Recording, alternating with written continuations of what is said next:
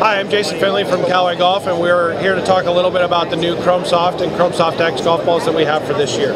Really exciting new product, uh, great new technology you can see behind me here called graphene. Uh, graphene's uh, infused in the outer core of our golf ball. It's going to help us make the inner core significantly larger, which is going to help with total distance through lower spin on the on the full shots, and then it's going to have a lot more spin and control around the greens.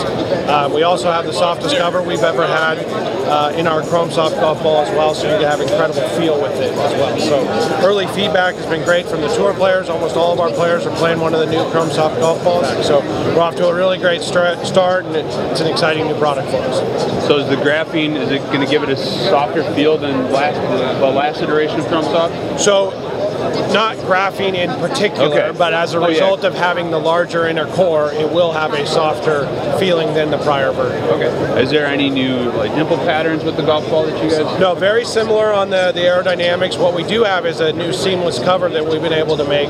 So we're truly the first seamless golf ball uh, in the market. Okay. And then same thing with the, the Chrome Soft X.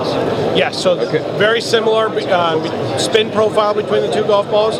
What you're going to notice most is a, is a feel difference between the two. The Chrome Soft X will be slightly firmer. Sure. Yeah, for a little bit more faster swing speeds. Correct. Exactly. Generally, yeah, that's that'll be the most played ball we have on tour. Awesome. And then the Truvis, you continue with more lines. Yeah, so we'll continue to have Truvis. It'll be available year round in white and red and yellow and black, and then at various points throughout the year, we're going to have some, some unique options that we're going to add to the line as well.